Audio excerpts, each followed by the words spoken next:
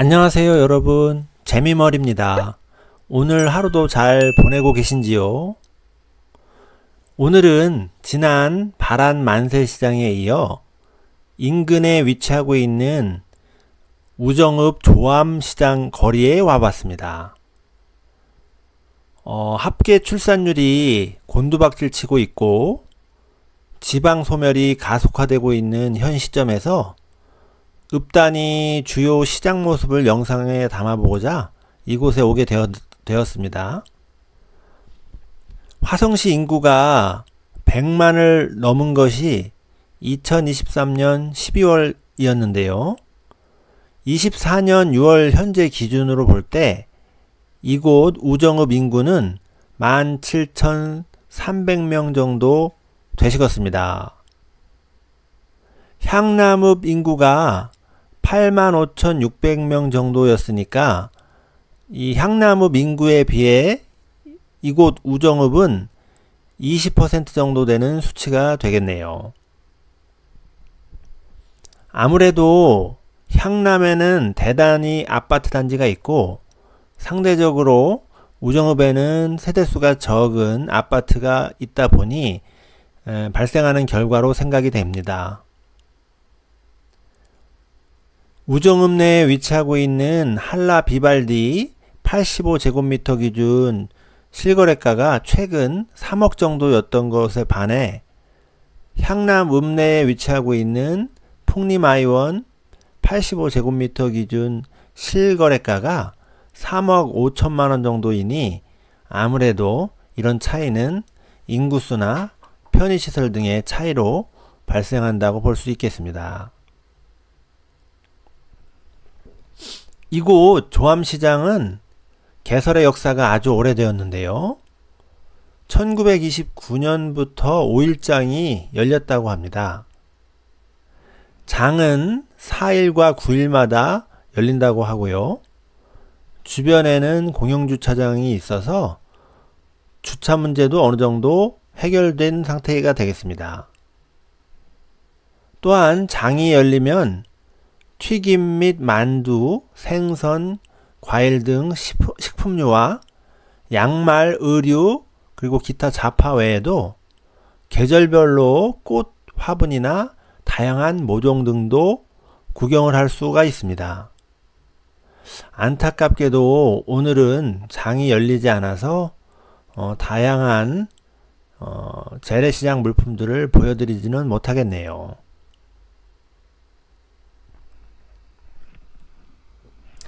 이곳 조암시장은 앞서 보여드렸던 바란 만세시장과는 분위기가 조금 다른데요.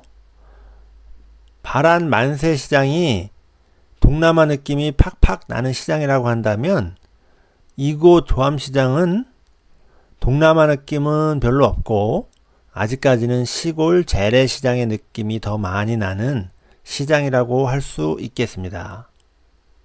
실제로 거리의 유동인구도 적고 유동인구 속에서 외국인들의 비중도 바란 만세 시장에 비해서 확실히 적은 걸 느껴, 느낄 수가 있습니다. 만약 여러분들께서 동남아 로컬 시장의 느낌을 느끼고 싶다고 한다면 바란 만세 시장으로 가셔야 할 것 같고 그냥 시골의 재래시장 느낌을 더 원하신다면 이곳 조암시장으로 나들이를 오시면 되겠네요. 이곳 조암시장의 경우는 우정읍의 인구가 아직까지는 크게 줄어들고 있지 않다 보니 소멸지역이건 소멸지역이나 상권 몰락의 상황은 아직까지는 감지되고 있지 않은데요. 다만 향후에 외국인 노동자들이 더 늘어날 가능성은 충분히 있어 보입니다. 여러분들도 아시다시피 내국인들이 3D 업종 기피 현상으로 취직을 하지 않고, 않고 있기 때문에 점점 더 많은 외국인 노동자들이 내국인을 대체할 수밖에 없는 현실은 계속될 것이고 어, 이런 자리를 결국은 외국인 노동자들 어, 특히 동남아 지역을 기반으로 한 외국인 노동자들이 채워갈 것은 자명한 사실이기 때문이죠. 어, 여기도 아시아마트 해서 어, 여러 나라 국기들이 좀 있는 걸 보니까 그리고 여기 보시는 월드푸드도 있죠. 어, 바란 만세 시장에서도 이 월드푸드 어, 뭐 한 두세 군데 본 것 같습니다. 외국인이 전혀 없는 것은 아니지만 어쨌든 바란 만세 시장에 비해서는 확실히 외국인의 대화 소리라든지 외국인을 볼 수 있는 기회가 더 적은 것은 어, 사실이라고 할 수 있겠습니다. 자, 이곳에는 마늘도 팔고 있는데요. 어, 마늘을 캐서 흙을 털어서 정리를 해서 그냥 어, 줄기가 있는 채 팔고 있고 이렇게 모종 같은 것들도 좀 보이고 있습니다. 그리고 생활 자파 이런 것들도 좀 있고요.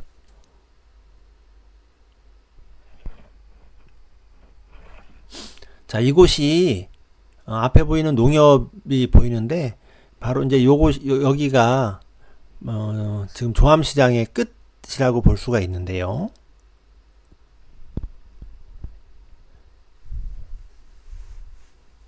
자, 터미널 한우 뭐 이렇게 써 있는 간판도 보이는데 지금 여러분들 여기 앞쪽에 보이시는 이쪽 공간이 어, 조암 터미널 공간인데요. 이곳은 1981년에 지어져서 버스터미널로 사용이 되었었는데요. 과거에는 수원이나 사당역 방향 시, 시외 완행버스가 다녔는데요. 어, 향남에 환승터미널이 생기게 되면서 현재는 수원역과 사당역으로 가는 직행 좌석버스로 현관 전환돼서 운영이 되다가 계약을 했던 운수회사와의 계약 관계가 종료가 되면서 2022년 10월 1일자로 폐쇄가 되었습니다. 자, 그래서 현재는 버스를 볼 수가 없고요. 이 터미널이었던 이 공간은 현재는 의류 매장으로 탈바꿈해서 장사를 좀 하고 있는 상황입니다. 자, 현재는 어, 사람이 뭐 보이지는 않고 있지만 과거에는 이곳이 버스 터미널이었기 때문에 저도 이 터미널에서 과거 어, 서울 방향으로다가 어, 출퇴근하던 때가 있었는데 그때에 그 완행 완행 시외 버스를 타고 어, 사당역까지 갔던 기억이 아직도 생생합니다.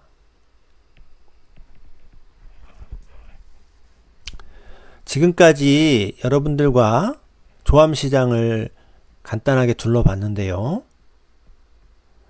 과거의 왁자지껄하고 전통적인 재래시장의 느낌은 많이 사라졌으나 그래도 다행인 점은 아직까지 심각한 인구 소멸이 진행되지 않고 있다 보니 쓸쓸하고 한적한 저 아랫지역의 재래시장보다는 조금 상황이 좋은 점이라 할 수 있겠습니다. 우리 시청자 여러분들께서도 시간이 나실 때 주변의 지역 재래시장을 한 번씩 방문을 하셔서 구경도 하시고 또 먹거리도 좀 사 드시면서 시장이 지금보다 더 활기 있게 될 수 있도록 힘을 좀 보태주셨으면 좋을 것 같습니다.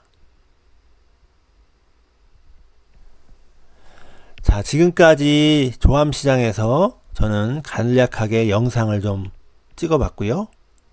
어, 저는 또 다른 영상에서 다시 여러분들을 찾아뵐 것을 약속드리고 오늘 영상은 어, 여기서 마치면서 어, 잠시 배경음악과 함께 이 좌우 상가 건물들을 한번 감상해 보시기 바랍니다. 자, 지금까지 재미머리였습니다. 감사합니다.